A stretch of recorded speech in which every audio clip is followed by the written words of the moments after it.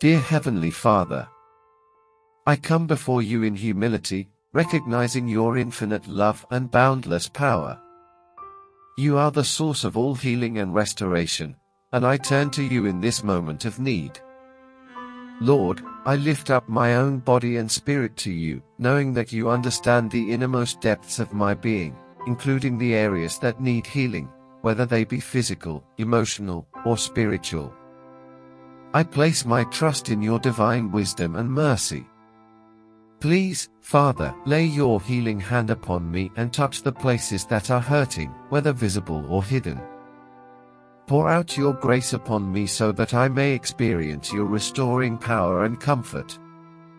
Lord, you have promised in your word that you are the God who heals us. I cling to this promise today and ask for your healing to flow through every fiber of my being. Father, heal not only my body but also my spirit. Bring peace to my troubled heart, calm my anxious thoughts, and grant me the resilience to face each day with hope and faith. Surround me with your healing presence, Father, and may I experience your love and grace in profound ways as I journey towards wholeness.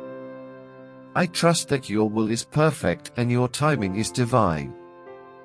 Thank you, Father, for your constant love and care and for hearing my prayers. Is anyone among you sick? Let them call the elders of the church to pray over them and anoint them with oil in the name of the Lord. And the prayer offered in faith will make the sick person well, the Lord will raise them up. James 5 verses 14 to 15. To you, Father, I give all the praise, honor, and glory.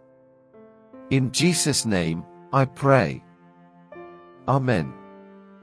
Thank you for watching. I hope you enjoyed the video. If you did, don't forget to like and subscribe to the channel. See you next time.